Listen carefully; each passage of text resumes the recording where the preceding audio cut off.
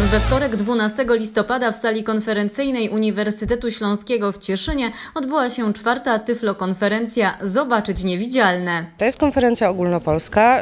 Są oczywiście osoby również z naszego powiatu, ale są też osoby z całego kraju, bo mamy przedstawicieli i z Łodzi, i z Poznania, z Warszawy, z Rzeszowa, tak, także z całego kraju do nas przyjechali. W wydarzeniu tym wzięły udział osoby niewidome i słabowidzące, studenci, specjaliści oraz goście.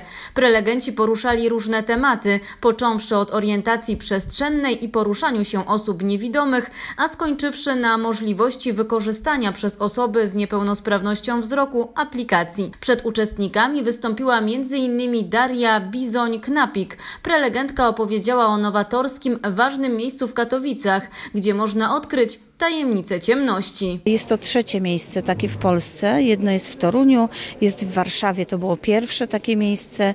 E, W Warszawie jest ono znane pod nazwą e, Niewidzialna Wystawa. W Katowicach są to tajemnice ciemności. Proszę nam troszeczkę o tym miejscu opowiedzieć.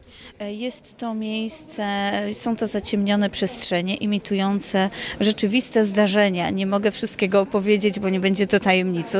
Są, zapraszam jednak do nas. I e, ludzie, jest to zaciemnione, więc ludzie mają wyłączony zmysł wzroku. Mogą jedynie posługiwać się innymi zmysłami, słuchem, dotykiem, czasem i zapachem. No i muszą sobie poradzić w tych przestrzeniach. E, Jaki to ma cel? E, Dzięki takim miejscom ludzie poznają siebie też i swoje możliwości, uczą się empatii, doświadczają tego, jak sobie w życiu muszą radzić osoby niewidzące, z czym się borykają, co im przeszkadza, co im utrudnia życie.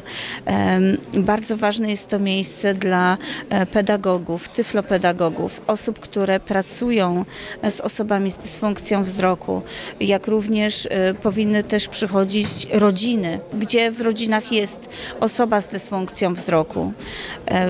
Też lekarze, których nie ukrywam, ciężko jest namówić na wizytę do nas. W ogóle służba zdrowia, urzędnicy, gdzie, którzy mają do czynienia z osobami niepełnosprawnymi i ten kontakt, e, czasem ludzie nie wiedzą jak się zachować, bo brak im wyobraźni, jak my odczuwamy rzeczywistość.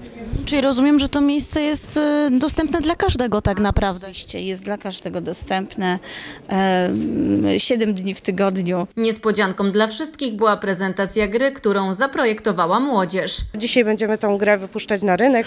Będzie również premiera tej gry, dostosowanej dla niewidomych. Dla portalu Śląska Cieszyńskiego OX.pl Marta Szymik-Telesz.